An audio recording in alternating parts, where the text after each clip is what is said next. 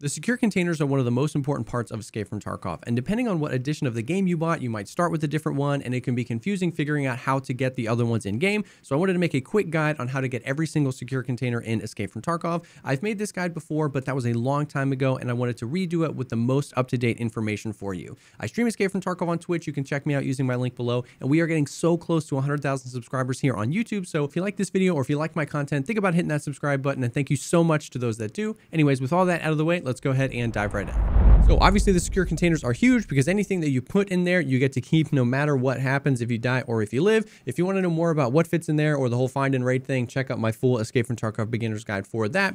Anyways, there is five, technically six secure containers in Escape from Tarkov. If you bought the standard edition of the game, you are going to start with the uh, alpha container. The alpha container is a two by two secure container. Uh, if you do happen to lose it for some reason, which I don't even think you can do anymore because you can't really drop them in raid, you can purchase this from Peacekeeper for 7,975 USD. Uh, I don't think anybody really ever does that because I don't think you can lose them anymore, but that's there. It's two by two. If you buy the Prepare for Escape edition of the game or higher, you get the beta container, uh, which you is a two by three. So you get two additional slots in your secure container, which is awesome. Uh, if you bought the standard edition of the game, you can actually purchase this at level two Peacekeeper uh, for it's a barter for a military battery, three iridium, three Virtexes, and five military cables. Based on the value of what all these things are right now, that's about 1.1 million rubles. It's nice that Lighthouse came out and made all of these things that used to be hundreds of thousands of rubles a little bit more affordable. But yeah, at level two, you can purchase one of these via barter for about 1.1 million rubles worth of stuff. If you're level 15, you can buy this stuff on the flea market and do that barter.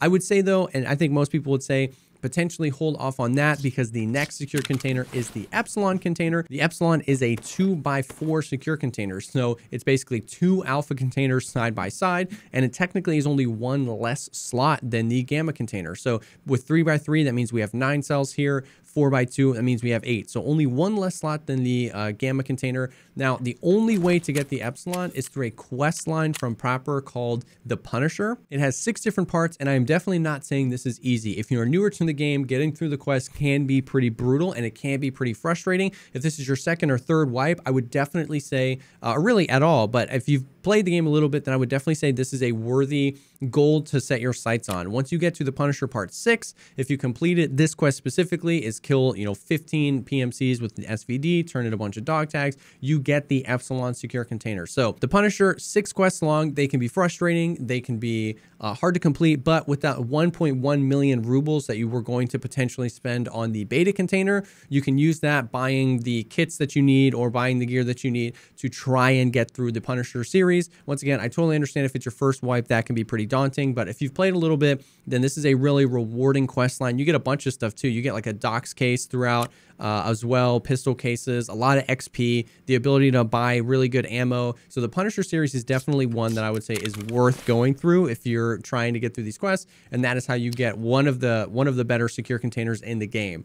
The Gamma container is the 3x3 that you start with if you purchase the Edge of Darkness edition of the game. You cannot get this secure container any other way, no matter what. The only way to have the Gamma is to purchase the Edge of Darkness version of the game. You can get close with the Epsilon, but there's no way to get the Gamma any other way. And that brings us to the biggest secure container in the game, which is the Kappa container. The Kappa container is 4x3, so it's basically a Gamma container with three additional up here. So 4x3, it has 12 individual cells, and it is pretty huge huge, and anybody in the game can get the Kappa container, although it is pretty out of reach if you are a newer player. You get the Kappa container by completing almost every single quest in the game, and that unlocks a quest from Fence. That quest is called the Collector, and in order to complete that quest, you have to be level 62, which uh, even I, who have played this game quite a long time, have only been over level 60 once or twice ever, uh, and you have to turn in every single streamer item in the game. So like the Veritas guitar pick, the Golden Rooster, there's a list of them on the wiki. There's like 15 or something now.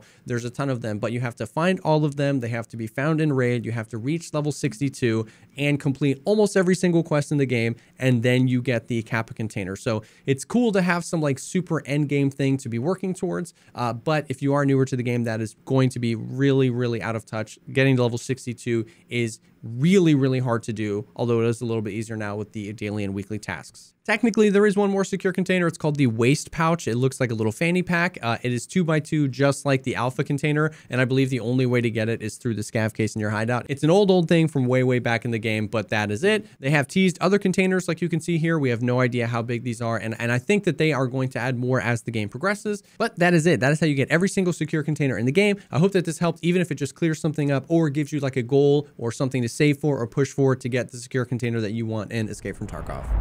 Thank you so much, as always, for taking the time to check out this video. If you liked the video, think about dropping a like, commenting down below, or subscribing to the channel for more content like this. Like we said before, I stream Escape from Tarkov on Twitch. All my links will be down below. I'd love to have you stop by and say hey. And if you're looking for people to play Tarkov with, our Discord server is an awesome place to be. That link is down below as well. Thank you again for stopping by, and I will definitely see y'all on the next one.